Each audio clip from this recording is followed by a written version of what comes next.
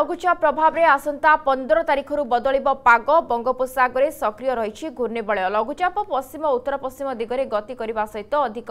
ঘনীভূত হব ষোহল তারিখ বেড়ক কেন্দ্রীয় পার্শ্ববর্তী দক্ষিণ বঙ্গোপসাগরে অবপাত্র রূপ নেওয়া আশঙ্কা রয়েছে প্রভাবে আসন্তকালিঠার রাজ্যের বদলিব পাগ বিশেষভাবে দক্ষিণ উপকূলের মেঘুয়া পাগ রহবা সহ হালুকার মধ্যম ধরনের বর্ষা হব জগৎসিংহপুর ভদ্রক যাজপুর কেন্দ্রাপড়া বালেশ্বর কটক রায়গড়া ମାଲକାନଗିରି କୋରାପୁଟରେ ବର୍ଷା ଆଶଙ୍କା ଥିବା ଆକଳନ କରିଛି ପାଣିପାଗ ବିଭାଗ ପରେ ଷୋହଳ ତାରିଖରୁ ବଢ଼ିବ ବର୍ଷାର ପରିମାଣ। ଗଞ୍ଜାମ ଜଗତସିଂହପୁର କେନ୍ଦ୍ରାପଡ଼ା କଟକ ଭଦ୍ରକ ଜିଲ୍ଲାରେ ଗୋଟିଏ କିମ୍ବା ଦୁଇଟି ସ୍ଥାନରେ ପ୍ରବଳରୁ ଅତି ପ୍ରବଳ ବର୍ଷା ଆଶଙ୍କା ରହିଛି।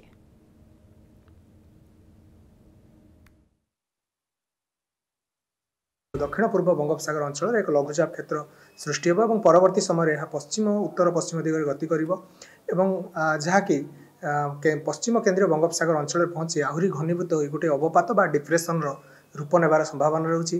ତେଣୁ ତାକୁ ଲକ୍ଷ୍ୟ କରିକି ଆମର ଯେଉଁ ରହୁଛି ମୁଖ୍ୟତଃ ଭାବରେ ସତର ତାରିଖ ଯେଉଁଟା ଷୋହଳ ତାରିଖରେ ଡିପ୍ରେସନ ଫର୍ମେସନ ହେବା ପରେ ସତର ତାରିଖ ଠାରୁ ଆମର ପଶ୍ଚିମ କେନ୍ଦ୍ରୀୟ ବଙ୍ଗୋପସାଗରରେ ପବନର ବେଗ ପଇଁଚାଳିଶରୁ ପଞ୍ଚାବନ ସର୍ବାଧିକ ପଞ୍ଚଷଠି କିଲୋମିଟର ପର୍ଯ୍ୟନ୍ତ ରହିବାର ସମ୍ଭାବନା ରହିଛି। ତେଣୁ ସମୁଦ୍ର ଅଶାନ୍ତ ରହୁଥିବାରୁ ମତ୍ସ୍ୟଜୀବୀମାନଙ୍କୁ ସତର ତାରିଖରେ ଖାସ କରିକି ପଶ୍ଚିମ କେନ୍ଦ୍ରୀୟ ବଙ୍ଗୋପସାଗର ପର୍ଯ୍ୟାୟକୁ ଯିବା ପାଇଁ ସମ୍ପୂର୍ଣ୍ଣ ଭାବେ ବାରଣ କରାଯାଇଛି। ଯେହେତୁ ଗୋଟେ ଅବପାତ ରହୁଛି ଏବଂ ତାର ବାହ୍ୟବଳ ପ୍ରଭାବରେ ଆମେ ଅନୁମାନ କରୁଛୁ ଯେଉଁ ପନ୍ଦର ତାରିଖ ଠାରୁ ଦକ୍ଷିଣ ଓଡ଼ିଶାରେ କିଛି ଜିଲ୍ଲାରେ ହାଲୁକା ମଧ୍ୟମ ଧରଣର ବର୍ଷା ରହିବ ଏବଂ ଷୋହଳ ତାରିଖରେ ରାଜ୍ୟରେ ଆମର କିଛି ଜିଲ୍ଲାରେ ଭାରୀ ବର୍ଷା ପାଇଁ ମଧ୍ୟ ପୂର୍ବାନୁମାନ ଜାରି କରାଯାଇଛି। ଯଦି ଆପଣଙ୍କୁ ଆମ ଭିଡ଼ିଓଟି ଭଲ ଲାଗିଲା ତେବେ ଆମ ଚ୍ୟାନେଲକୁ ଲାଇକ୍ ସେୟାର ଓ ସବସ୍କ୍ରାଇବ୍ କରିବାକୁ ଜମା ବି ଭୁଲନ୍ତୁ ନାହିଁ।